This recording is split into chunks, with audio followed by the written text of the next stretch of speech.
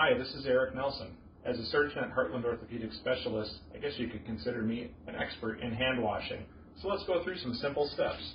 First, use warm water. Viruses, including coronavirus, are more easily killed by warm water.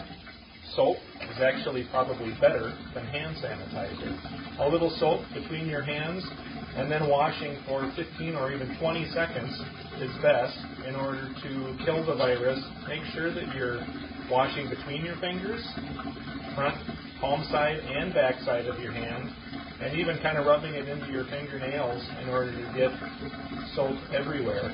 Some people will sing the happy birthday song. It takes about 15 or 20 seconds to sing the happy birthday song, and that can give you something to do while you're washing your hands.